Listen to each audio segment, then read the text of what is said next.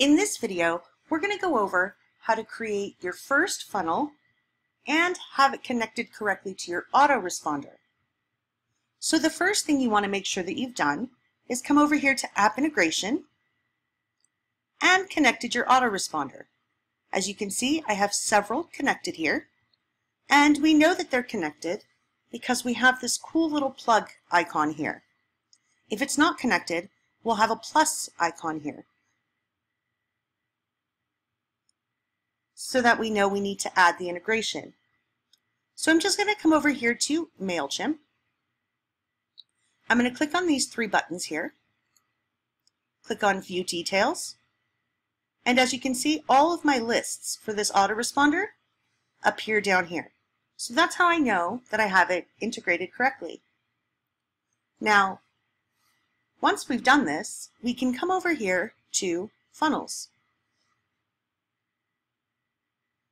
And I'm going to click on New and create a new funnel. And for this example, I'm going to do the opt-in funnel because it's a really short two-step funnel and it's great to help you get your feet wet and learn the system. It's pretty basic. So I'm going to go ahead and click on Emails, come down here to Next, and give it a name. Then I'm going to come down here to Create Funnel. Now, as you can see, I have both steps of my funnel, the opt-in and the thank you page. So if I want to edit one of these, I'll just click on the option that I want to edit. And we know which one we're editing because of this blue bar here. So I'm going to edit the opt-in page, or if I wanted to do my thank you page, I could come down here. And I know I'm editing the correct page, again, because of this blue bar. So that's very important to keep in mind so that you don't edit the wrong page. I'm actually going to show you how to do your thank you page first, and I'll explain why. Because I want to connect my opt-in form to my thank you page, and I will show you how to do that. But first, I'm just going to create a very basic thank you page. So I'm going to choose variant A. I'm going to do a blank template, and I'm going to come over here to Edit in Builder. Now the only thing I'm going to do here is just add some text and edit it because I just want to show you how they connect and how it works. So I'm just going to type in thank you here and I'm going to go ahead and click on alignment and center align it. I'm going to come up here and click my save button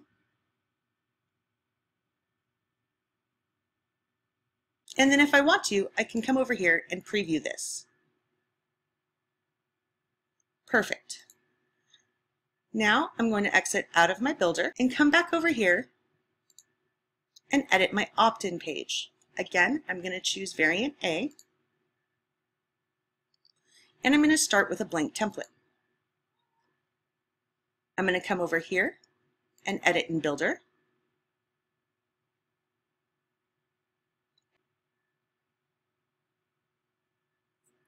And every time you come into your builder, you're going to notice that we have a header section, a body section, and of course a footer section. So I'm going to come over here and I'm just going to make my header section a little bit bigger. And I'm going to come over here and I'm just going to manage the background. I'm going to keep this video as simple as possible and I'm not going to go into too much design detail because the idea is to get you started with the essentials or basics and then if we want to add anything additional we'll go over that in other videos. So again I'm going to come over here to manage background. You'll notice a sidebar that appears. So I'm just going to click here and add an image. Now currently I don't have any images here and that's okay. We can add images by uploading our own, using stock images, patterns, or icons. So in this example, I'm just going to use a stock image. And if I want to build a fitness page, I'll just go ahead and type in fitness here. and I'll be able to choose from any of the many pictures that appear using that keyword. So I'm just going to choose this image and click on the import button down here. And you'll see, actually, I think I'm going to choose a different image because that's not quite the width that I want. So let me go back over here and find another image. I think we'll try this one. Click on import. That's a bit better. So you'll notice now it takes us to a cropping section and this is very important. So just move this around and get the portion of the image that you want. You can make this bigger or smaller. So I'm just going to grab this bottom section of the image and I'm going to click on crop. That's going to add the image over here to the background of my header. Once you've selected an image, you can choose to move the position of the image by clicking on these blocks here. So I'm just going to leave it at that, and I can make this bigger or smaller, depending on the size that I want.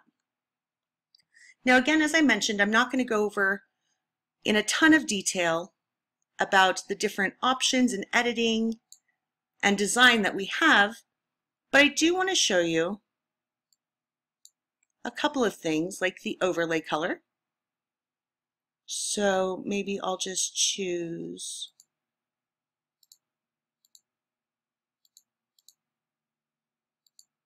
a blue.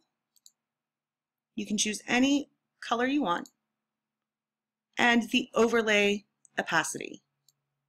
So as you can see, I can make it as dark or as light as I want. If you do want to turn your parallax on, you can do that here. And all that means is that when you scroll, the image isn't going to scroll with your page. So I'm going to go ahead and close this sidebar now. And if I wanted to add a video, I could come over here and click on the video icon. Again, I can move this around wherever I'd like and make it as big or as small as I want to. So I'm just going to go ahead and make it that size and move it over here. Now to edit the video, you just need to make sure that your mouse is clicked inside of it and you'll see the edit object option. So I'm going to go ahead and click on it and I can put the link for any video that I want to use right here. As soon as I've placed my link in this box, I'm going to want to make sure that I click this update button. So I'm going to go ahead and close this sidebar. I'm going to show you two different ways to add opt-in forms. If we come over here to Form Elements, we can do it using a custom HTML. So if I add this and I just stick it right here, I can click this Edit Object and it's going to open this sidebar and ask me to paste my code in here. Now, you can add your own custom HTML or you can simply grab the embed code from your autoresponder. I'm going to go ahead and grab a very simple code in MailChimp. So I'm going to come over here to HQ Webinar. And I'm going to come over here to Sign Up Forms. And I'm going to come over here to Embedded Forms. Now how you do this is definitely going to vary based on your autoresponder. So you'll want to check with your autoresponder and, and get your form codes from them directly. So I'm going to come over here to just a classic HTML form. I have the form down here. It's a bit long, so I'm going to disable the JavaScript but I'm going to come down here and copy this and just add the code here. I can close this and I just want to show you what it looks like. Now please keep in mind I didn't edit this form code in any way so it's going to be a very basic design. I'm going to go ahead and click save and I'm going to preview it and here's how it appears. Now, of course, you're definitely going to want to check your alignment and design it how you want it to look. So this is just to give you a brief example of what it would look like. If you want to have a little bit more choice in customization, you can go ahead and close this. I'm going to remove the HTML and I'm going to show you how to set it up with your own personal touch. You can come back over here to form codes. We're going to add a couple of text inputs and just move them over here.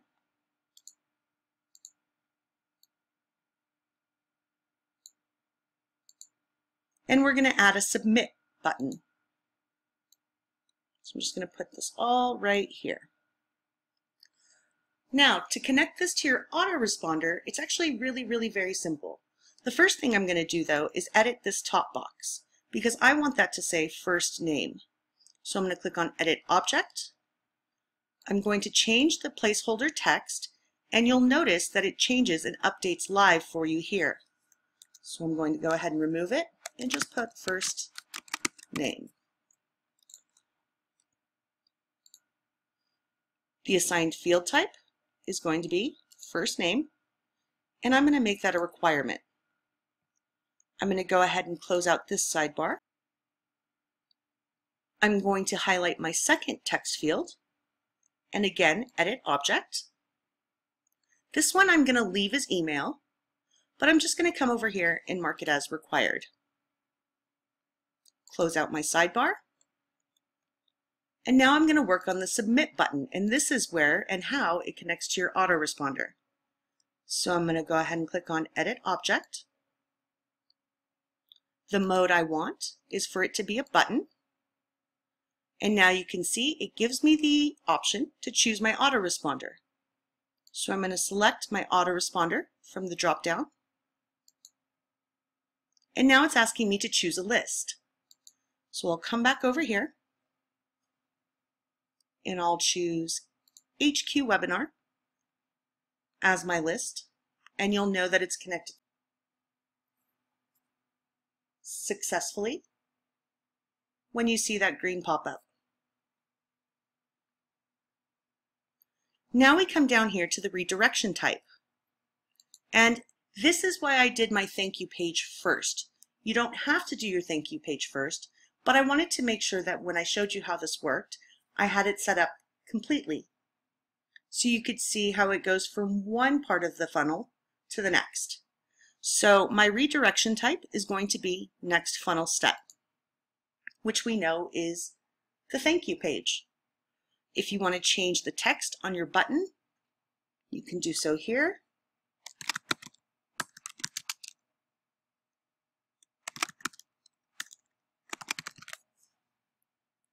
And then I'm going to go ahead and just close this out. Again, I'm going to come up here and click on Save. So now I'm going to go ahead and click on Preview so I can show you how it all works together. You can see my video is here, my background image is here. I'm going to go ahead and type in my name and an email address and I'm going to click on that download here button. Now don't worry about the rest of the page being blank because as you know we haven't actually added or created anything for it. I really just wanted to show you how the opt-in works. So I'm going to click on download here, but before I do, I'm going to take you back to my MailChimp list, and as you can see, there are currently two subscribers. So when I go back to my opt-in form and I click on the download here button, you can see it takes me to my thank you page that I created. And I'm going to come back over here to MailChimp and refresh this and just show you that now I have three subscribers. So let's go back to our XFunnels tab. You can see both of them are active. And if I come over here to my dashboard, you'll see that I now have two visitors, the number of the pages that I have, how many funnels I've created, and of course, my contacts. So this is how You set up your first funnel to connect with your autoresponder in XFunnels.